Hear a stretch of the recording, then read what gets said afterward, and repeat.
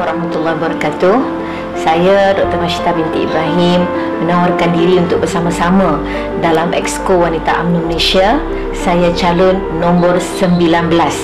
Ah, Jangan lupa tu nombor 19. Kepimpinan ni sebenarnya perlu digalas oleh intelektual agamawan.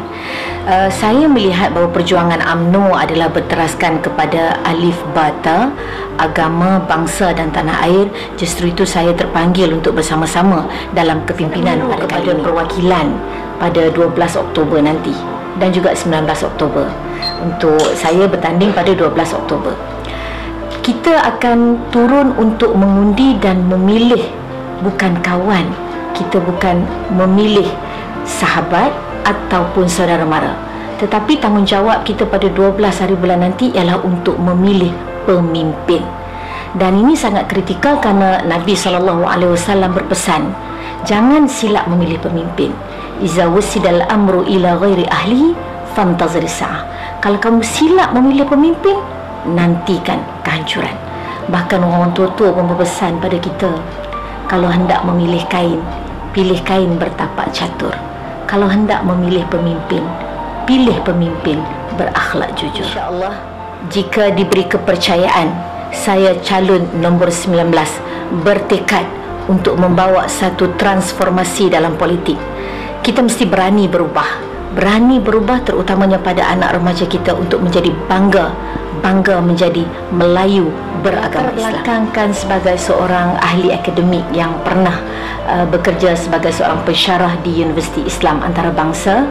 Uh, terkini saya uh, sedang memasarkan buku saya tentang fitrah wanita bersama-sama dengan uh, utusan publishing yang telah pun berada di pasaran dan uh, insya-Allah dalam sehari dua seminggu ini kami akan uh, berada di uh, Dewan Negara untuk membincangkan beberapa bil dan saya berhasrat pada kali ini untuk membicarakan tentang uh, isu wanita dan bagaimana keganasan terhadap wanita itu dapat kita bendung bersama.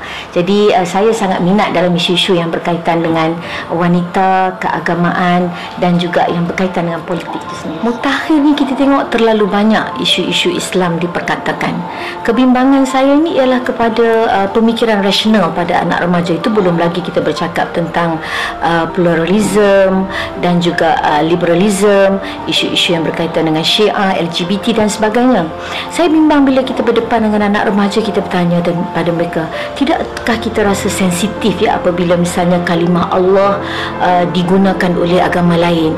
Uh, kadang-kadang anak remaja dia boleh kata uh, semua agama kan sama semua agama mengajak kepada kebaikan. Jadi tak salah untuk mana-mana agama pun bertukar. Dia tidak melihat dia bahawa implikasi apabila disamaratakan semua agama.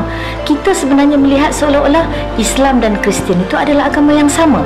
Mungkin kalau seseorang tu tak sempat sembahyang Jumaat dia juga boleh pergi ke gereja kerana di situ juga ada Allah anak Allah, isteri Allah dan sebagainya. Jadi uh, di sini saya rasa bahawa kita perlu uh, mengajak anak remaja ni untuk kembali uh, membetulkan dan memperkuatkan akidah kerana pemikiran rasional mereka itu membimbangkan. Saya juga tengok eh bila anak remaja ni berdua-duaan bila kita tanya dia kata saya tak buat apa-apa, saya tak salah dan dia pun rela. Jadi pada mereka sesuatu yang rasional itu telah menghalalkan perhubungan tersebut. Jadi pemikiran pemikiran beginilah yang agak membimbangkan kita pada anak remaja. Insya-Allah kalau diberi kepercayaan bersama-sama dengan para sahabat dan juga saf yang ada pertama yang harus diperjuangkan ialah wanita itu sendiri. Bagaimana kita nak minta supaya wanita mempunyai jati diri yakin pada diri dan boleh berdikari dengan ekonomi yang mantap. Itu satu keperluan.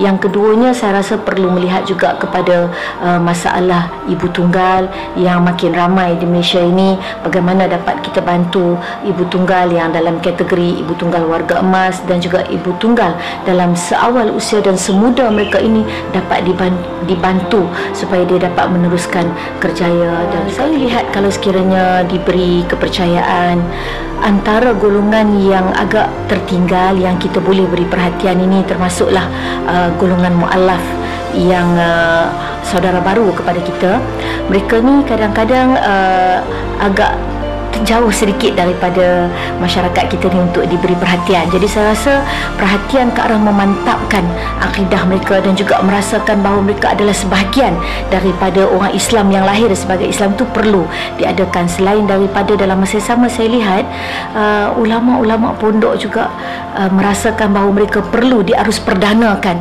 bersama-sama dengan kepimpinan yang ada pada hari Dr. Masyita nombor 19 Exco Wanita UMNO Malaysia berani berubah memacu transformasi.